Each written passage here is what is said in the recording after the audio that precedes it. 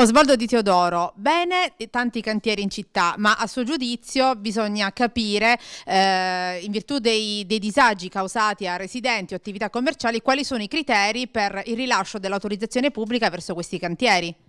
Sì, ha detto bene, eh, bene all'apertura dei cantieri e non ci può che far piacere praticamente ristrutturare eh, insomma, ecco, tanti edifici che sono obsoleti in città,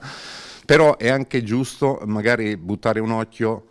su quello che potrebbe essere, eh, diciamo, limitare la libertà, del, la libertà, degli altri. Nel senso, ecco, c'è da capire un attimino quali sono i criteri che vengono adottati nella concessione dell'occupazione del suolo pubblico.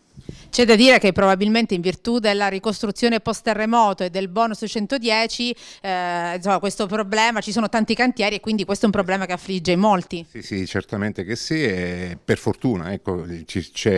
possiamo registrare l'apertura di tanti cantieri in Teramo Centro soprattutto e quindi voglio dire a maggior ragione che questo aspetto va un attimino accentrato e, e cercare di capire, di creare